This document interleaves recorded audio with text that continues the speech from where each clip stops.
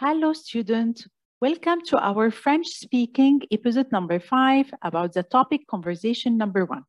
Today, our topic conversation is about les loisirs. Les loisirs. Qu'est-ce que ça veut dire les loisirs? Les loisirs, that mean for leisure, hobbies. D'accord? What do you do during your free time as hobby? D'accord? On commence. Ready? Premièrement, it's a topic conversation. That means that we will have some questions. The examiner will ask us some question, and we said that it's always five questions. D'accord? And you will have some time to think, not to prepare, because this conversation is without any preparation. You will have two or three seconds between each question, and you can answer the question. All this topic conversation, it will remain for five minutes. That means that we have five minutes, that we have one minute for each question. D'accord? La première question, we will discuss the question first, and after that, we will discuss some answers or some suitable answers for each question. D'accord? Premièrement, qu'est-ce que tu fais le soir pour te relaxer? What does it mean? What you normally do at night to relax yourself. Numéro 2. Où vas-tu pour faire du sport d'habitude? Where do you go usually to do some sports? D'accord? Numéro 3. Qu'est-ce que tu as fait récemment avec ta famille? What did you do recently with your family? D'accord? And we have some alternative question. We said that if you didn't, huh, um, you didn't succeed to answer this question, they will ask you more questions. D'accord? That means that it will be so good to answer the first question instead of having more other questions. Est-ce que tu es sorti avec ta famille le week-end dernier? Did you go out with your family last weekend? Last weekend, that means the past. D'accord? Last weekend. Qu'est-ce que tu as fait? What did you do? That means it's the same question, but with another way. D'accord? Qu'est-ce que tu as fait récemment avec ta famille? Or, est-ce que tu es sorti avec ta famille le week-end dernier? Et qu'est-ce que tu as fait? What did you do with them? Numéro 4. Avec qui préfères-tu passer ton temps libre? With whom do you prefer to spend your free time? Pourquoi? Why? Hein? With my member of families or par exemple with my friends? Hein? Préfères-tu passer ton temps libre avec ta famille ou avec tes amis? That means we have two choices. With your family or with your uh, friends. Pourquoi? And you have to say why do you prefer your family more than your friends or your or the opposite. D'accord? Or vice versa. Numéro 5. Que voudrais-tu faire avec tes copains ou tes copines pendant les grandes vacances? Copains, that means that for boys, copine, this is a feminine for girls. Huh? Number five, as usually we said that the, the future. We have to use the future and I said please include two huh, verbs. Je voudrais and j'aimerais. Je, que voudrais-tu faire avec tes copains? Pendant les grandes vacances? What do you have the intention to do during the big vacation or the long vacation or the summer vacation with your friends? Or quelle activité est-ce que tu vas faire? Va faire is the future also avec tes amis pendant les prochaines vacances, the next vacation. What activities do you like to do with your friends? D'accord? That means huh? now we knew about the question. We discussed the question. Huh? We will have some time to huh, think about each question and we will discuss the answers. D'accord?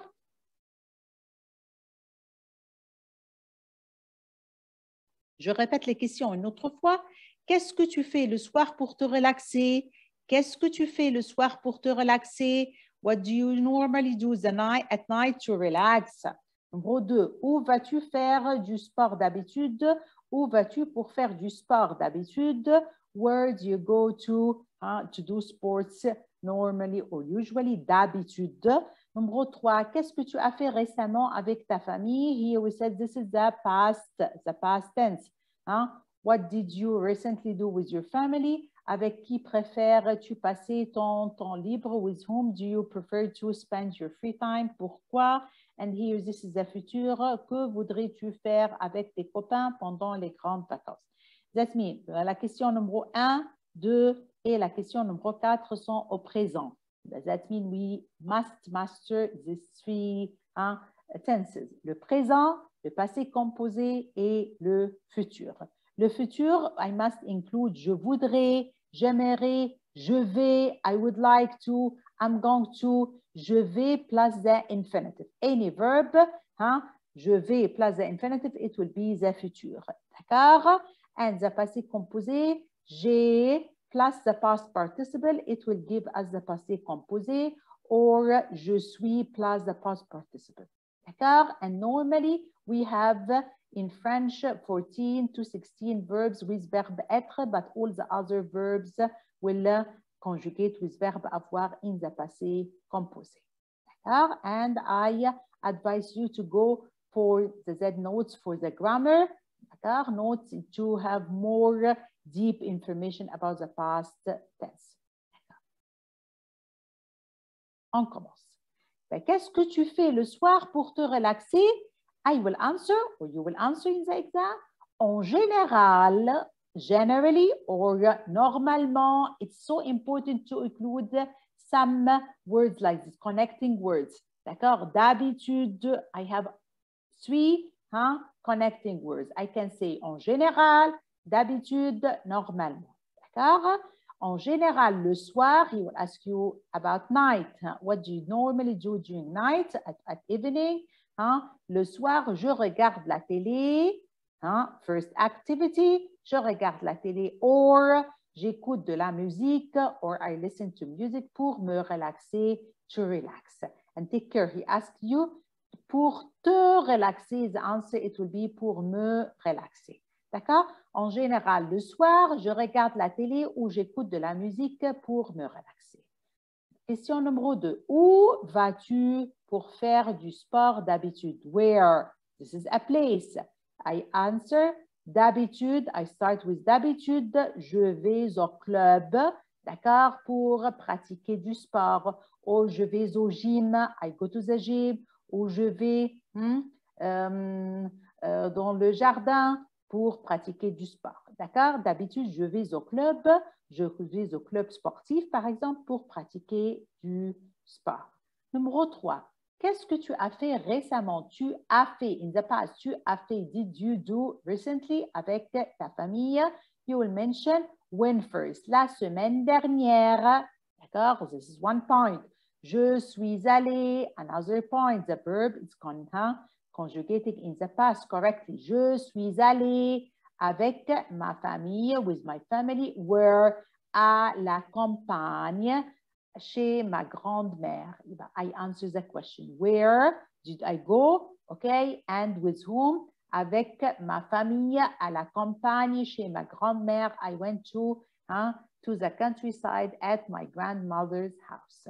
What did you do there? Because he asked you, qu'est-ce que tu as fait? Nous avons, nous. Why I use nous here? Because we are, we, with our family. D'accord? We are a lot now. Nous avons fait de la randonnée. We went hiking et on a fait une pique-nique en plein air. OK? I can move on and I say, nous avons fait de la randonnée et une pique-nique en plein air. We took a picnic on the open air.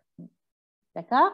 Je répète, I mentioned when, and where and with whom and what did I do. That means I answered four parts of the question. La semaine dernière, last weekend, je suis allée avec ma famille. I went with my family à la campagne chez ma grand-mère to the countryside at my grandmother's house. Nous avons fait de la randonnée, the activity number one, et une pique-nique en plein air et une pique-nique en plein air. And we had a picnic on the open air. D'accord? La question numéro 4. Avec qui préfères-tu passer ton temps libre? With whom do you like to spend your free time? Pourquoi? You will say also, like I said, it's so important to start with a um, connecting word. Normalement, ou d'habitude, je préfère, I prefer passer mon temps librement instead of temps temps is a question, the answer will be mon. Je préfère passer mon temps libre avec, avec, avec mes copines de classe, my classmates. Pourquoi? Why? C'est plus amusant. It's more amusing. On s'amuse bien. We amuse ourselves so much. On va au cinéma ou au fast food. And we go normally to the cinema or to a fast food. That means that I mentioned why I prefer my friends. D'accord? Normalement, je préfère passer mon temps libre avec mes copines de classe. If I want to say I prefer with my family, I just remove mes copines de classe et I said ma famille. D'accord? Normalement, je préfère passer mon temps libre avec ma famille. C'est plus amusant. On va au cinéma et au fast-food. D'accord? That means the answer can be huh, with my friends or with my family. D'accord? La question numéro 5, que voudrais-tu faire avec tes copines pendant les grandes vacances? What do you like to do with your friends during the vacation, the summer vacation? I start with during the summer vacation, pendant les grandes vacances. Je voudrais, like I said, I mentioned, je voudrais aller à Dubaï avec mes copines de classe. I would like to go to Dubai. On visitera, here's the future. I would like, we will visit la tour Al-Khalifa aller au parc d'attractions, we go to hein, Disneyland or um, the park d'attractions, faire du shopping et acheter des souvenirs. That means I said, I mentioned many activities. Premièrement, je voudrais aller à Dubaï hein, avec mes copines de classe. On visitera la tour Khalifa, aller au parc d'attractions, faire du shopping et acheter des souvenirs. D'accord? I mentioned how many activities here? I mentioned five activities. On visitera la tour Eiffel. Premièrement, aller à Dubaï. Deuxièmement, visitera la tour Al-Khalifa. We visit the Khalifa Tower. D'accord? Après, faire du shopping.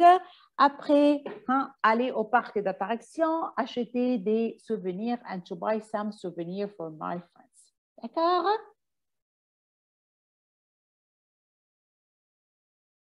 Je répète une autre fois, I repeat for the last time. Qu'est-ce que tu fais hein, le soir pour te relaxer? What do you normally do during the at evening to relax? En général, le soir, je regarde la télé ou j'écoute de la musique pour me relaxer. Don't, don't forget to say pour me relaxer. D'accord? Numéro 2, ou vas-tu faire du sport d'habitude? You will say d'habitude, je vais au club pour pratiquer du sport. Numéro 3. Qu'est-ce que tu as fait récemment avec ta famille? Recently, la semaine dernière, I have to mention the time, d'accord? And the place, and the activity, and with whom, d'accord? This means uh, five parts or four parts of the question. La semaine dernière, je suis allée avec ma famille à la campagne chez ma grand-mère. Nous avons fait de la randonnée, hiking et un pique-nique en plein air. D'accord? Après, avec qui préfères-tu passer ton temps libre, your free time, temps libre ou tes loisirs? Pourquoi? Normalement, je préfère passer mon temps libre avec mes copines de classe. C'est très amusant. On va au cinéma ou au fast-food. This is the activity that I do with my friends. Numéro 5, the future question. Que voudrais-tu faire avec tes copines ou tes copains pendant les grandes vacances, the summer vacation? You will say pendant les grandes vacances, je voudrais, you can say je voudrais or j'aimerais, also it's important. Je voudrais or j'aimerais or I include the two verbs. Je voudrais aller à Dubaï avec mes copines de classe. J'aimerais visiter. Instead of saying on, visitera, I can say j'aimerais visiter ou nous aimerons visiter la Tour El Khalifa, aller au parc d'attractions, faire du shopping et acheter des souvenirs. All the activities that I can include. D'accord? Hein? To add a lot of activity will give you more marks. D'accord? And to be sure that you will get the A star. D'accord? Hope that it's easy for today et à bientôt.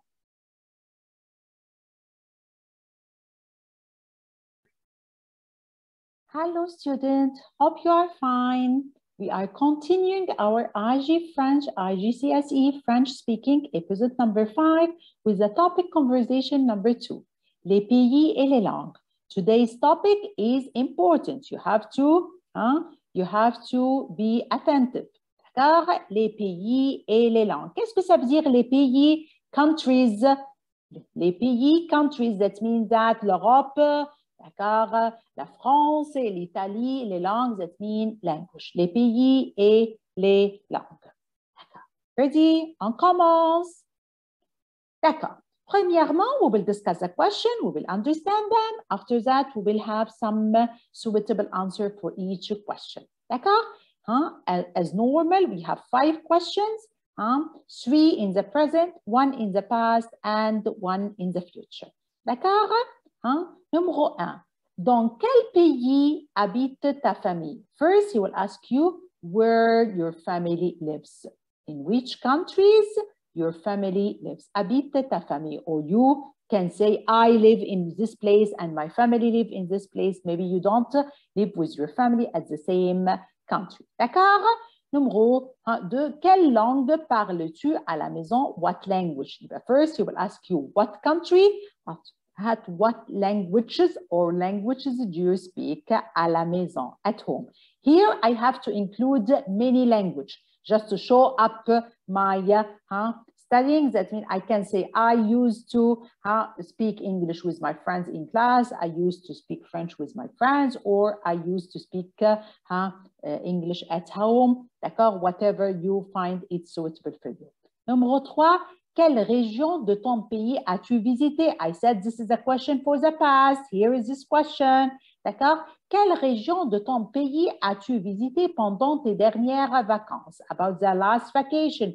Where did you go? Uh, where, what region did you visit in your country? That means about your uh, natal, pays natal or your home country? Et qu'est-ce que tu as fait and what did you do? D'accord? You will mention some places in your country and uh, what did you have, what did you do this there, and with whom, if you want to include also.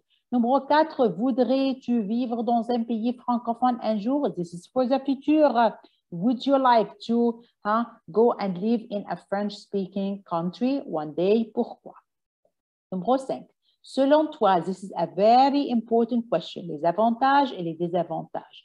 What are the advantages to live in your country and what is the disadvantage to live in your country? This means that you have to mention the disadvantage to live in this country or huh, and the disadvantage. D'accord? Les inconvénients.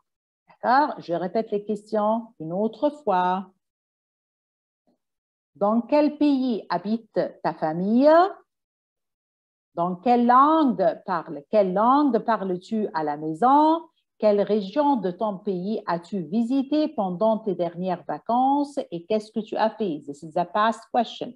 D'accord? Le passé composé. Voudrais-tu vivre dans un pays francophone un jour? This is a futur. D'accord? And here, pourquoi? And the last question, the main question, and the very important question, quels sont les avantages de vivre dans ton pays et les inconvénients? Or you can say, qu'est-ce que tu aimes dans ton pays et qu'est-ce que tu n'aimes pas? What do you like and what you don't like in your country? D'accord? Ready? On commence. D'accord. Premièrement, you have to mention the country where huh, your family lives or where do you live. Dans quel pays habite ta famille?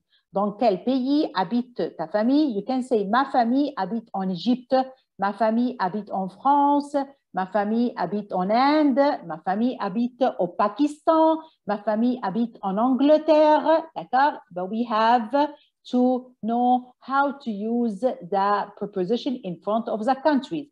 En Angleterre, because start with a vowel. En Égypte aussi. En France, because it's feminine. Au Canada, because it's masculin. D'accord? Au Canada. D'accord? Au Canada. Mhm. Très bien. Après, quelle région dans ton pays, numéro 2, quelle langue parles-tu à la maison? Quelle langue parles-tu à la maison? You can say, je parle l'arabe avec ma famille à la maison. Je parle l'anglais avec ma famille à la maison. Je parle hein, l'ourdou avec ma famille à la maison. Je parle, hein, what, what language? Je parle portugais avec ma famille à la maison. What language do you speak with your family at home? D'accord? Numéro 3, quelle région dans ton pays as-tu visité pendant tes dernières vacances? I have to start with during my last vacation. Pendant les dernières vacances ou pendant mes dernières vacances, j'ai visité. Where did you visit? I visited. J'ai in the past. I visited. J'ai visité Dubaï. Okay? And what did you do there? J'ai voyagé en avion. The first activity. I traveled by airplane avec ma famille. On a logé dans un hôtel de luxe. We, hein, we stayed in a luxury hotel. J'ai visité les musées, numéro 3. J'ai goûté la nourriture traditionnelle, numéro 4. I tasted the traditional hein, food. D'accord? Je répète, pendant les dernières vacances, what did you do? J'ai visité Dubaï, number one. J'ai voyagé en avion avec ma famille. J'ai logé, on a dans un hôtel de luxe. J'ai visité les monuments et j'ai goûté la nourriture traditionnelle.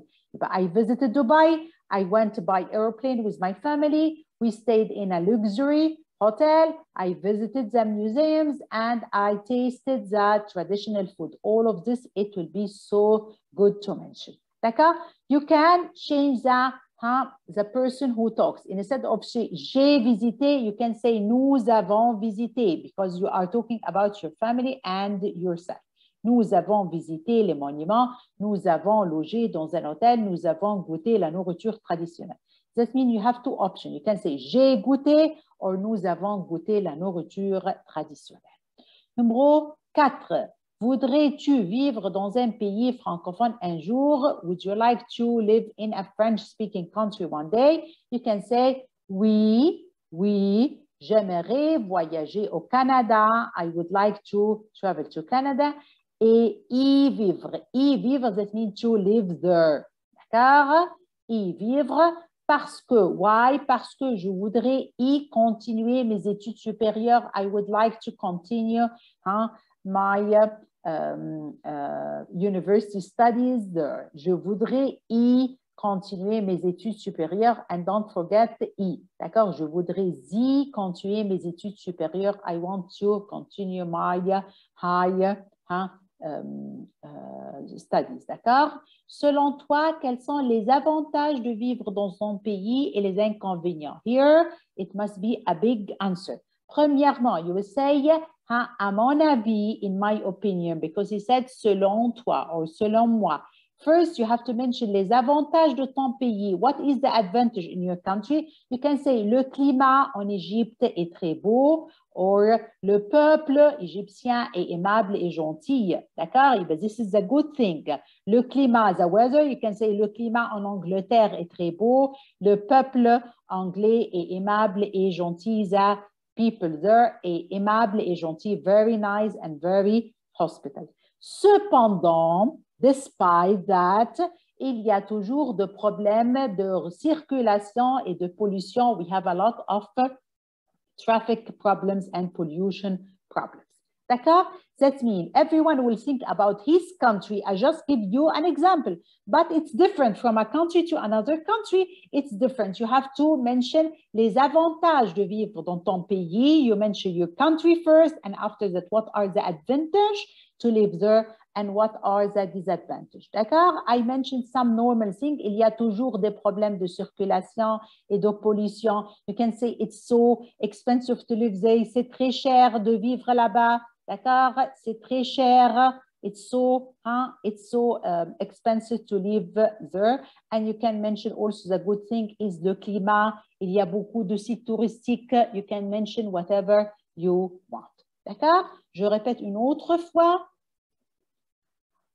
la question et la réponse. Dans quel pays habite ta famille? Ma famille habite en Égypte, ma famille habite en France, ma famille habite en Inde, ma famille habite au Pakistan. D'accord? Numéro 2. Quelle langue parles-tu à la maison? Je parle arabe avec ma famille à la maison, je parle anglais, je parle italien. D'accord? The language that you speak with your family at home. Numéro 3. Quelle région de ton pays as-tu visité pendant tes dernières vacances? What region did you visit huh, in your country? D'accord? Pendant les dernières vacances, j'ai visité Dubai because maybe I live in Emirates. D'accord? You can mention any place that you visited. Hein? J'ai visité par exemple Dublin, j'ai visité um, uh, j'ai visité whatever you mention any region that you visited. Hein, j'ai voyagé en avion avec ma famille, j'ai logé dans un hôtel de luxe, j'ai visité les musées et j'ai goûté la nourriture traditionnelle. It's so important to mention this. J'ai goûté la nourriture traditionnelle. Numéro 3, numéro 4, je m'excuse. Voudrais-tu vivre dans un pays francophone un jour? Would you like to live in a French-speaking country? What are the French-speaking countries? This is France, Canada, Belgique, d'accord? Um, you can mention any speaking countries that you would like to live in. J'aimerais voyager au Canada ou j'aimerais voyager en France. Don't forget en France, but au Canada. J'aimerais voyager au Maroc, par exemple. J'aimerais euh, voyager en, Tunisie. D'accord? Y vivre, to live there, parce que je voudrais y continuer mes études supérieures. Je voudrais y continuer mes études supérieures. Numéro 5, selon toi, quels sont les avantages de vivre dans ton pays et les inconvénients? You can say, à mon avis, ou je pense que le climat en Égypte est très beau, le peuple égyptien est aimable et gentil. D'accord? Cependant, et on the other hand, il y a toujours des problèmes de circulation et de pollution. D'accord? J'espère que c'est facile pour aujourd'hui et à bientôt. Hello, student. Hope you are fine. We are continuing our French speaking videos episode number five. We will start with our role play. D'accord? Today, our role play is talking about chez le marchand de fruits. Chez le marchand de fruits. What does it mean chez le marchand de fruits? That means huh, at the fruits uh, seller. D'accord? At the market and you want to buy some fruit. Chez le marchand de fruits.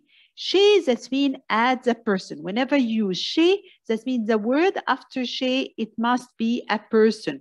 Chez le dentiste, chez ma grand-mère, that means le marchand is a person. We cannot say chez le marché.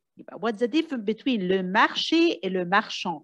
Le marché is a open market itself, le marché. I cannot say chez le marché. Chez plus a person. Chez le marchand, that means that the seller. Chez le marchand de fruits, the person who is um, selling fruits. D'accord?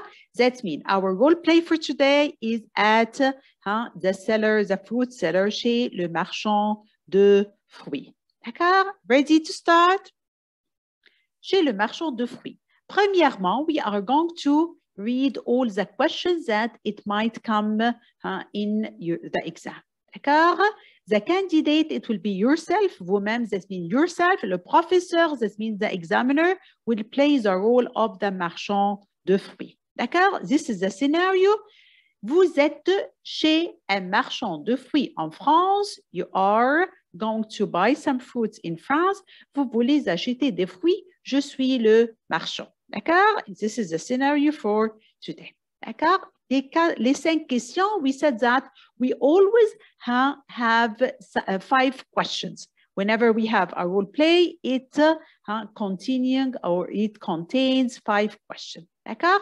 La première question, the, the person will tell you, bonjour, quelle sorte de fruits voulez-vous? She will ask you, what kind of fruit huh, uh, of fruits you want to buy. Number two, combien en voulez-vous? That means how much. That means first you have to say the, the kinds of fruits you want, apples, banana, pomme, abricot, fraise, d'accord? And combien, this is how many kilos, combien. Numéro 3, est-ce que vous aimez la nourriture dans notre région? That means this is another question. The seller will ask you, or she will ask you, do you like the food in our region? Because as you are a tourist, she will ask you this question and why? You have to say why also. D'accord? Numéro 4, quand vous êtes, êtes-vous arrivé en France? When did you come to France? Et qu'est-ce que vous avez déjà visité and what did you have visit? That means that the first three questions, it will be in the present. The fourth question is in the past, le passé composé, and you have to be sure to use it correctly. D'accord? Numéro 5, this is the future tense. Où avez-vous l'intention d'aller demain? Where do you have the intention to go for tomorrow? D'accord? And pourquoi? Okay, that means whenever we have our role play, you have to know these scenarios. That means that you have, we start with the present. After that, we will have some question in the past. And after that, a question in the future. D'accord? Je répète la question. I repeat the question again. Bonjour, quelle sorte de fruits voulez-vous? Combien en voulez-vous? Est-ce que vous aimez la nourriture dans notre région? Pourquoi? Numéro 4, quand êtes-vous arrivé en France et qu'est-ce que vous avez déjà visité? Numéro 5, où avez-vous l'intention d'aller demain? Pourquoi?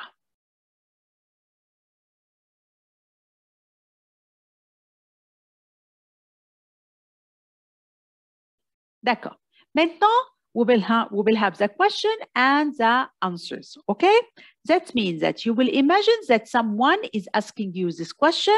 You will have time, don't, I'm, I'm, I'm, I'm advising you not to answer immediately. You have to understand the question first, and after that, you take one second to uh, think about the question and answer it correctly. D'accord? If someone asks me or ask you bonjour, you have to say bonjour. D'accord? Whenever someone will tell you bonjour, you have to say bonjour. Bonjour, madame, or bonjour, monsieur. If the person is a man, huh, you will say monsieur. If she is a woman, you will say madame. D'accord? Bonjour, monsieur. Bonjour, madame. D'accord? She will ask you, quelle sorte de fruits voulez-vous? Quelle sorte de fruits voulez-vous?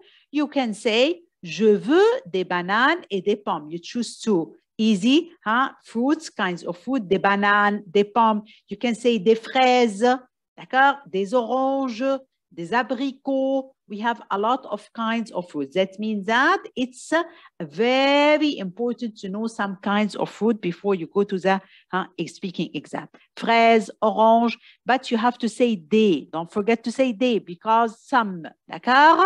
Huh? Je veux des bananes et des pommes. Je veux des bananes et des pommes. Instead of je veux, you can use also some uh, formules uh, de politesse comme je voudrais, I would like. That means you can use je voudrais or je veux. Je voudrais des bananes et des pommes ou je veux des bananes et des pommes. D'accord? Après, numéro 2, combien en voulez-vous? Combien Combien en voulez-vous? Après, you will say, donnez-moi 4 kilos de bananes et 3 kilos de pommes. How much do you want? You will mention the kilos now. Donnez-moi, give me 3 kilos de bananes ou 4 kilos de bananes et 3 kilos de pommes. D'accord? De pommes. And take care of something. Here I use des, but when I use kilo before it, it will become deux de 3 kilos de pommes, 3 kilos de bananes. Okay, take care of the difference. Après, donnez-moi, give me, instead of saying je veux again, d'accord, I use another formule. Donnez-moi 4 kilos de bananes et 3 kilos de pommes. Numéro 3. Est-ce que vous aimez la nourriture dans notre région? Pourquoi?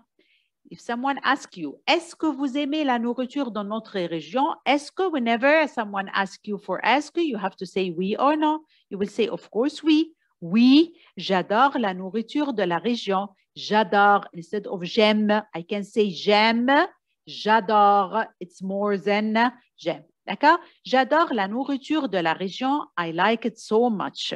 Pourquoi? You can say parce que, or you can say immediately, c'est goûteuse et variée. It's yummy and varied. C'est goûteuse et variée. C'est goûteuse et variée, or I can say parce que c'est goûteuse et variée. J'adore la nourriture de la région. C'est goûteuse et variée. Or I say, oui, j'aime beaucoup. I can say j'aime beaucoup. I like so much. J'aime beaucoup. J'aime beaucoup la nourriture de la région, c'est goûteuse et variée. D'accord? Numéro 4, quand êtes-vous arrivé en France? Quand êtes-vous arrivé en France? When did you arrive to France? You say, je vous suis arrivé en France. This is a past tense. It's so important to take care of this. Je suis arrivé en France la semaine dernière, last week and she will ask you, qu'est-ce que vous avez déjà visité, already visited? J'ai, you can say here, j'ai déjà visité J'ai visité les monuments et les sites touristiques. J'ai visité les monuments et les sites touristiques. I visited the monuments and some touristic sites. If you want to be specific, you can say j'ai visité la Tour Eiffel, j'ai visité le Louvre, d'accord? Also, you have many answers here, okay? Many hein, answers. J'ai déjà visité les monuments, ou j'ai déjà visité la Tour Eiffel, ou j'ai visité le Louvre, j'ai visité le, euh, la place de la Concorde, j'ai visité euh, la cathédrale euh, de Notre-Dame, okay? Any monument that you want to, uh, to mention, but the easiest one, la Tour Eiffel et le Louvre. D'accord? And take care of the pronunciation and repeat again because the pronunciation counts for the exam. Je suis arrivé en France. When I ask you, quand êtes-vous arrivé en France et qu'est-ce que vous avez déjà visité? The answer is, je suis arrivé en France la semaine dernière. J'ai visité les monuments et les sites touristiques. Or, I can say, j'ai déjà visité le Louvre et la Tour Eiffel. D'accord?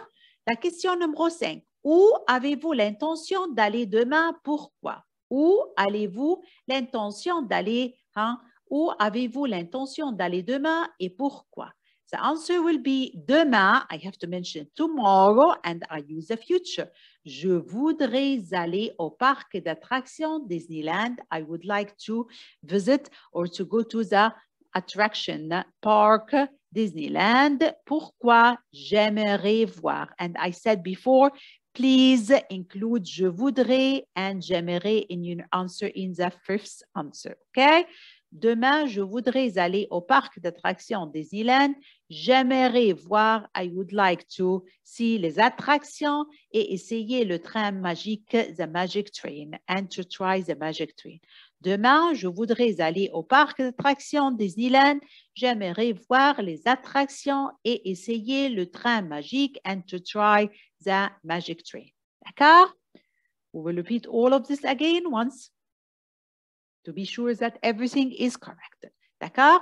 That means our topic, our role play today is for marchand de fruits. You go to the marchand de fruits, chez le marchand de fruits, you want to buy some fruits. Okay? The first uh, two question is about the food that you buy and here about a different think when did you arrive to France and what's your intention to do huh, tomorrow? D'accord? That means here you use the passé composé and here you use the futur. D'accord? Je répète. Bonjour, quelle sorte de fruits voulez-vous? Okay, try to answer with me. Bonjour, quelle sorte de fruits voulez-vous? Bonjour, je voudrais des bananes et des pommes. Numéro 2. Combien en voulez-vous? Donnez-moi 4 kilos de bananes et 3 kilos de pommes. Numéro 3. Est-ce que vous aimez la nourriture dans notre région? Pourquoi? Oui, j'adore la nourriture de la région parce que c'est goûteuse et variée. C'est goûteuse et variée. D'accord? Numéro 4. Quand êtes-vous arrivé en France et qu'est-ce que vous avez déjà visité? Je suis arrivé en France la semaine dernière. J'ai déjà visité les monuments et les sites touristiques. J'ai déjà visité la Tour Eiffel et le Louvre. Numéro 5. Où avez-vous l'intention d'aller demain? Pourquoi? Demain, je voudrais aller au parc d'attractions des Îles.